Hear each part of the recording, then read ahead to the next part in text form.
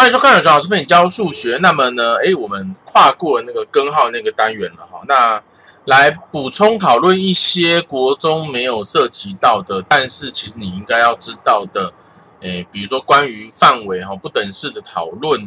好，那么我们来看一下哈，如果今天 x 在负二到一之间哈，y 在二到三之间的话，请问 x 减 y 会是多少到多少之间呢？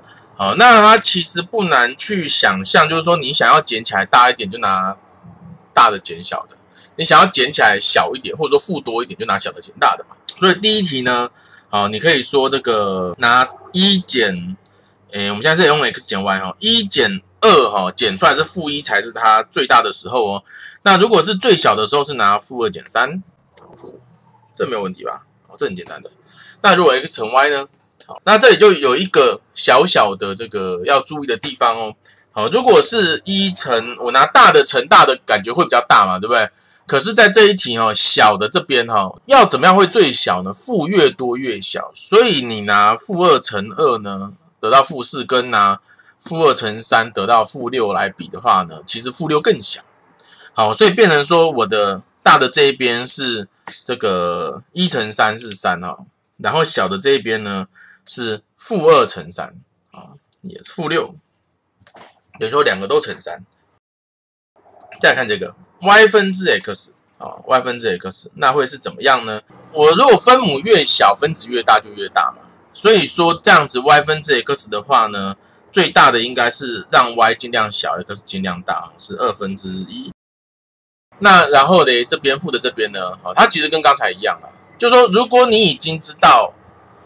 哦，你这边结果算出来是负的了，那我拿按理来说小的本来应该要是这个分母尽量大，分子尽量小嘛。可是因为我们现在负的越多是越小，所以呢，它的这个不是负的三分之二哈，而是负的二分之二，也就是负一。那所以我们来看右边这个 x 分之 y 的话呢，呃，你可能会去想说，那我跟刚才一样吧？啊，如果 x 放一分之三和一分之二比起来。一分之三比较大，好，然后这个负二的话，负二分之三、负二分之二比起来，负分之三比较大，对不对？所以你很多学生会答这个哈，负二分之三，哦，一分之三就是三啦，对不对？哦，它是错的哦，它是错的。那为什么呢？我 x 既然在负二到一之间哈，重点就是说它的 x 有跨过零啊，所以我 n x 假如是零点一，零点一分之三。那其实三十，我如果 x 是零点零一分之三，就是三百，对不对？所以我 x 可以非常接近零，比如说它是零点零零零零零一，对不对？那它这样子分之三的时候就变三百万。所以我的 x 哦，如果它非常非常接近零，可是它还是正的，但是它非常小非常小，零零点零零零零零零零零非常小，但是还是正的，但是非常接近零的时候。那么它的这个分之三的时候算出来就会很接近正无限大，也就是它非常大，多大都可以，因为你可以非常接近零。如果它今天跨过去，它比零小，可是它一样是非常接近零的话呢，也就是负的零点零零零零零零三，那它就变成是比如说三十亿啊、三千兆啊，也就它可以是怎么样负的无限大哈，不要涂，就这样，可以吗？所以这则还是这一题的答案哈，因为它的分母跨过了零，所以变成它什么数字都有可能。来看六题，一样按个暂停，自己写一下哈。那我们等下就直接讲了。那其实这个每一题都有一点点比前面更难一点哈，所以比较小看了这个第五题。x 平方加 y 平方哈，那你想说我这个负二平方是四哈，一平方是一嘛，对不对？这个是四，这个是九吧，对不对？那所以说平方和要大一点的话，是不是四加？九是十三，那平方和如果要小一点的话呢？哦，那应该是一加这个四嘛，就两边都取小的嘛，对不对？所以是五，对不对？那你的答案是这个吗？它是错的哦。为什么？其实最小的时候，x 是零，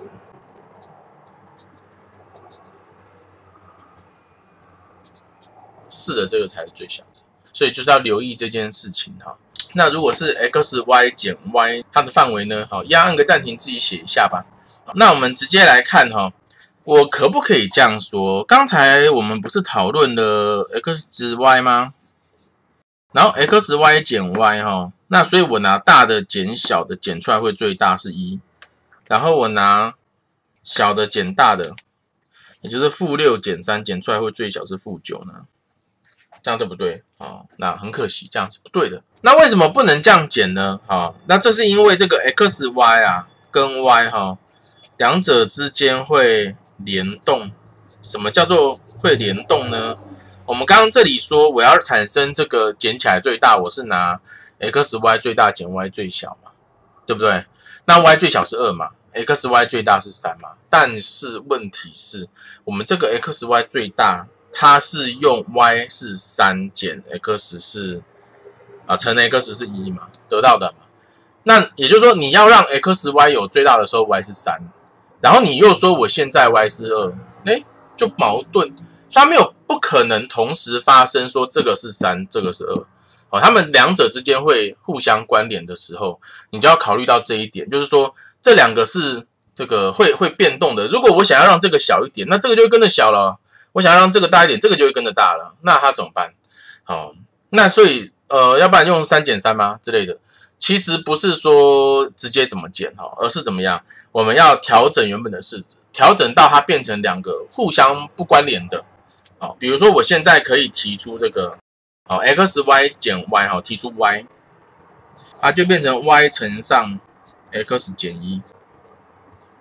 哦，那这样子 y 哦是二到三之间，对不对？x 减一呢？哦，x 减一，哦是这个减一哈，所以是零到负三之间。像这两者，这两者就没有关系。所以你尽量大你的，哎，我尽量小，我尽量大我的或小我的嘛，对不对？所以说这两个乘起来要有最大值，那两个都抓最大的时候，哦，x 减一最大是零，y 减 y 最大是三哦，所以乘起来最大是零。那两个要最小的时候呢，就是要负最多啦，因为我这里还是负的嘛，要负最多。那你会发现它其实是用我的这个负三乘三所以这个负九是对的。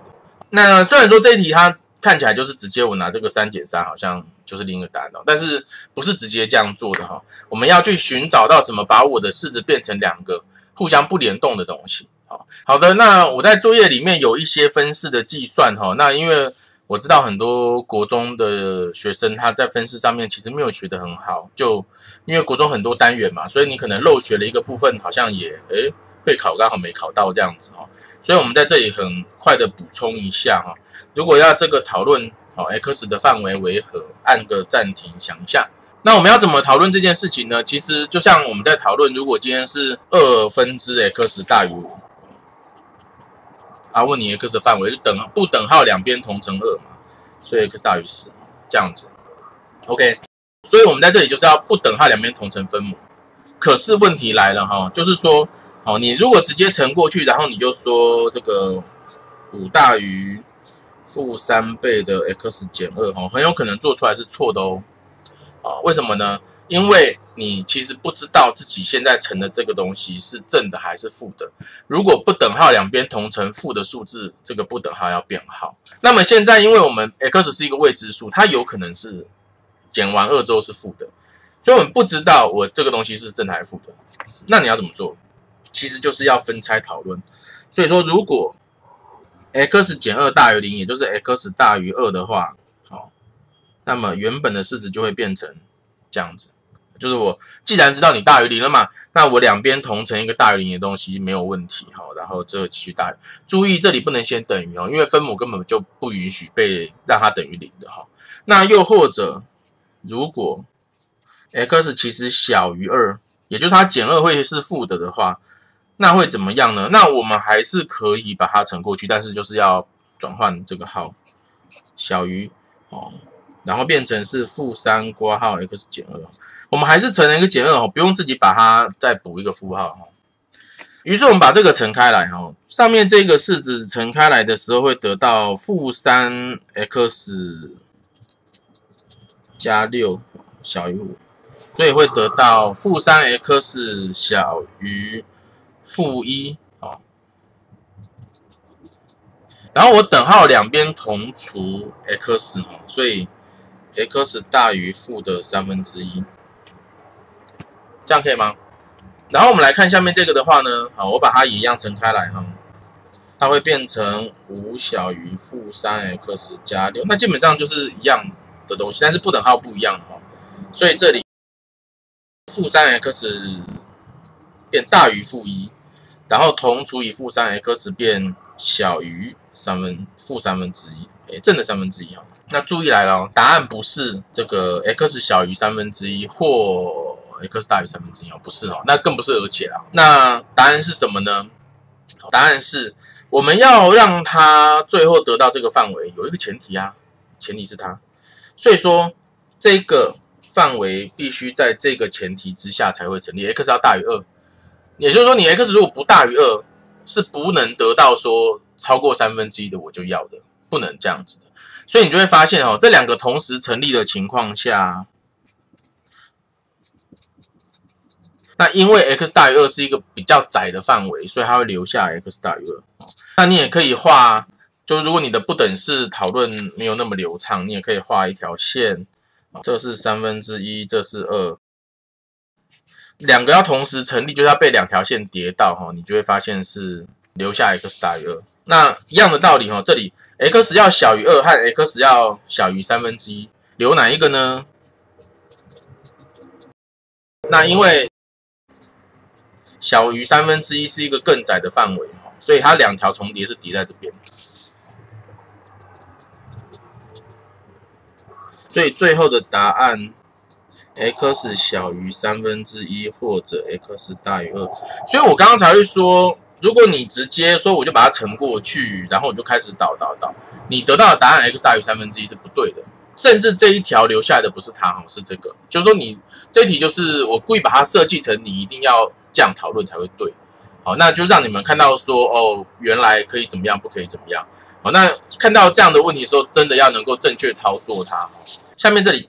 十五十二分之五小于二十一分之 x 小于十二分之三啊，这个若二十一分之 x 为整数，求 x。那第一题比较简单啊，第一题要求的是什么呢？第一题要求的是这个二十一分之 x 这个东西，它会是多少？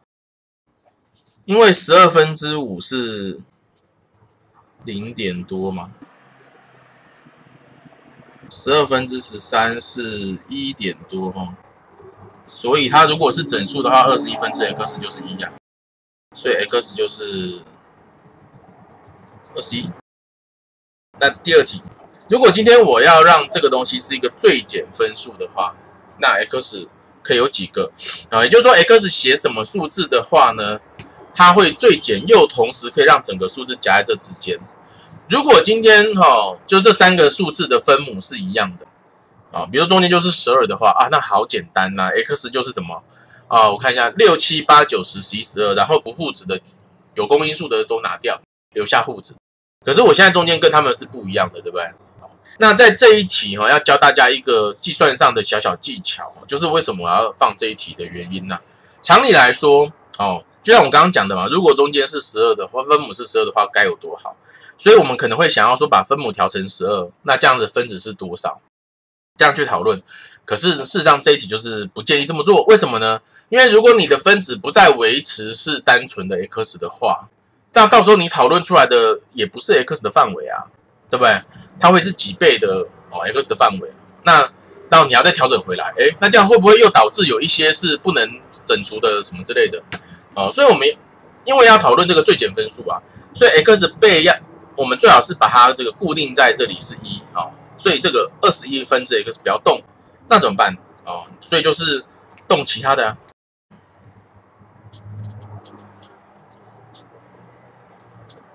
左右两个变成二十一是分母，那你说左右两个怎么把它变成二十一是分母呢？我十二的话要乘多少会变二十一？二十一是十二的几倍。好，那我的学生都会常常听到我讲这句话，因为我喜欢重复这句话来让他们加强这个印象。二十一是十二的十二分之二十一倍。好，所以十二分之十一，然后你再约分嘛，你就会发现它是四分之七哈。所以我的上下同乘。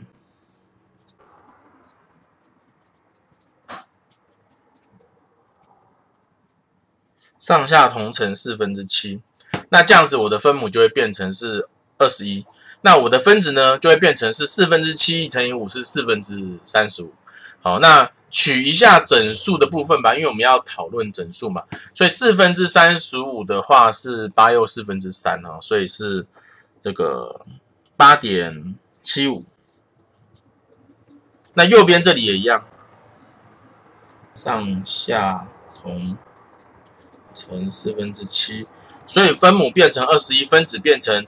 四分之七乘以十三，哈，七乘以十三的话是九十一，所以四分之九十一的话是二十二又四分之三，哈，因为四乘以二十二是八十八，二十二点七五。所以其实 x 会夹在八点七五和二十二点七五之间。那这个时候我们把哦可能的 x 列出来，呃，三的倍数跟七的倍数不要。所以有几个？一二三四五六七八八个。那如果这一题有看懂的话，按个暂停，自己写一下下面这一题哈。好，那我们来做做看这一题啦。你现在看到的是我的分母有三根 x 哈，分子有十、三十五跟十四。那所以要怎么办呢？就像我刚刚讲的，我们的 x 不要动，那也就意味着哈，你要做的其实是通分子，可以吗？我们刚刚是通分母嘛，把分母调成一样的。我们现在要做的其实是调整分子到一样的，也就是要把这两个都调整成三十五。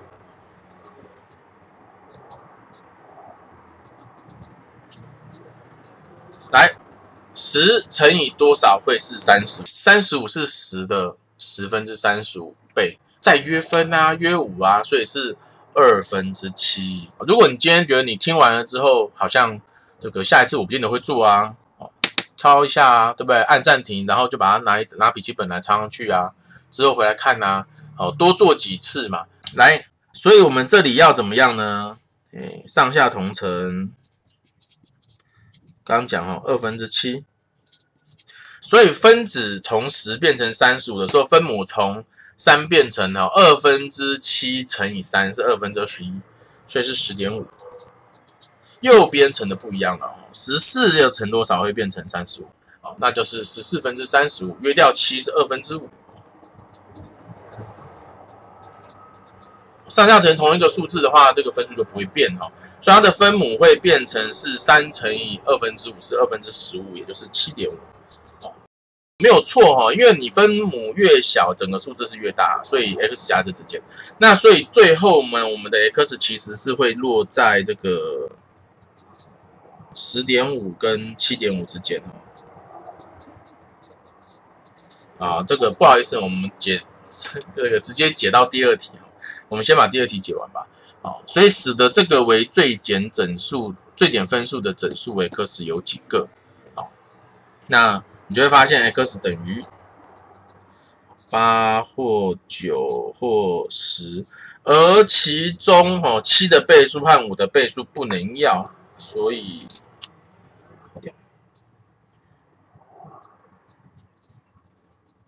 共两个，然后我们回来看第一小题哈。他说，如果这是一个整数，那这是一个整数，它会是多少？那因为三分之十是三点多啊，然后三分之十四是，哎，到五了吗？还没有哈，是四点多，对不对？所以夹在三点多和。四点多之间的话，那就只有一个四，所以 x 分之三十五会等于四，可以吗？x 会等于四分之三十五，哦，这是一个很神奇的答案，因为它不是整数。仔细想想，题目没有第一小题哈，没有说 x 是整数，对不对？第一小题没有说 x 要是整数。第二小题有嘛？它要使它化为最简分数的整数 x 有几个？所以我们都抓整数，对不对？但是第一小题没有，所以四分之三十五就是它的答案。好的，那么我们这集就上到这里。